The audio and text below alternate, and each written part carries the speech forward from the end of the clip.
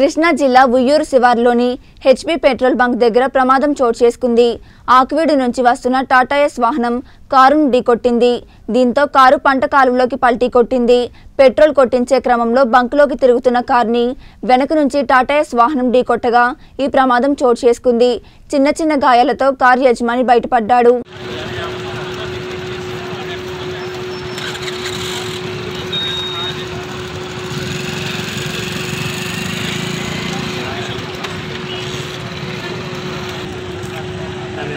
first time కలుద్దాం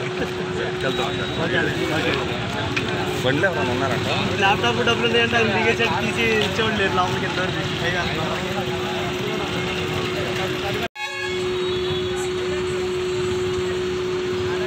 ఏదో